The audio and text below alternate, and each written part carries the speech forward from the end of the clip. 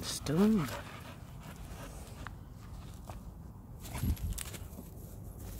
Clever girl.